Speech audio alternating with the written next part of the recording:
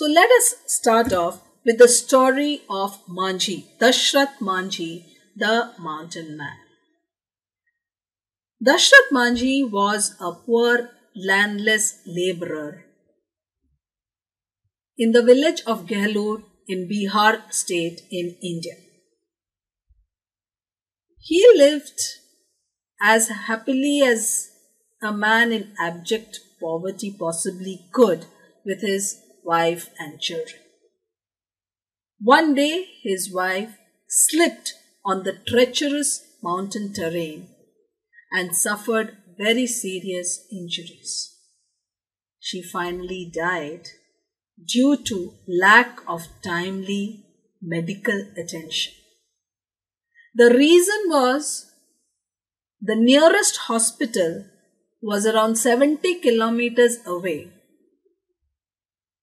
because one had to go around the hills in order to reach the city.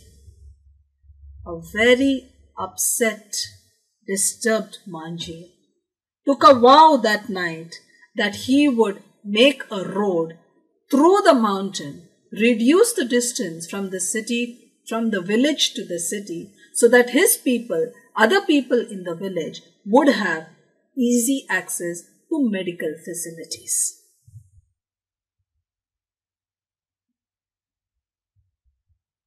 Dashrath Manjhi ultimately did make a path, did make a road. He carved a path 360 feet long and 30 feet wide at a height of 25 feet. He did it single handedly, alone, using only a hammer and a chisel. He would say, break one stone at a time, one day, one stone, one day, and so on. And by carving this road, reduced the travel distance from 55 kilometers to 15 kilometers. But it took him 22 long, arduous years of He did attain some fame in his lifetime.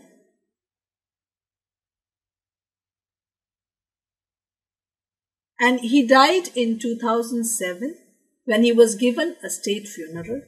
But it was only four years after his death that a proper solid road was constructed over the path that he had built. The story of Manjhi is undoubtedly one which shows us the grit, the determination of man about what man can achieve when he sets his mind to it.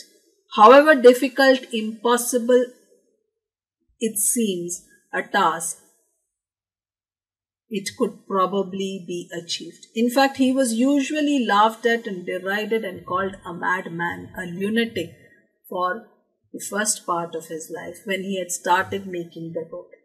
It is a different matter that people slowly began to help him out, gave him food, as he continued his journey. but look at this, students. What I'm trying to say here is that this one man with no education, no skills, no tools, no resources, no planning, no foresight, only a determination, right? Only a steely resolve to make the road, Manage to make this road, but but at what cost? At, spread over a period of 22 years. Now think about it students, if, if the project of construction of a road through the mountain was given to any organization or an institution, would an institution or an organization would have resources at its disposal.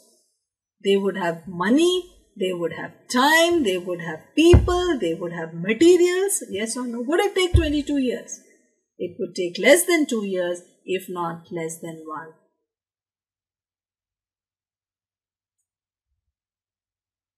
So, organizations, organizations use the tools of planning, budgeting, and forecasting to efficiently achieve their objectives. What is planning? Planning is the direction. What was, what did Majhi want to do? Majhi wanted to reduce the distance from his village to the, to the city.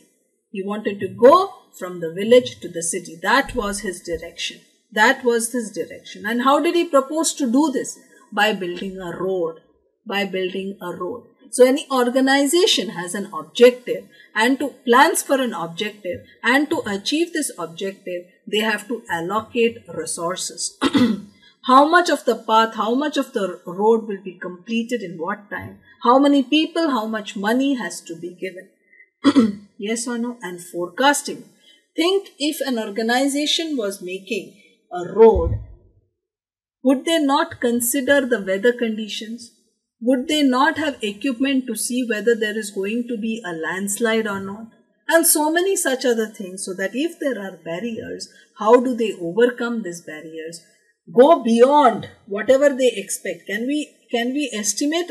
Can we can we predict the future? No.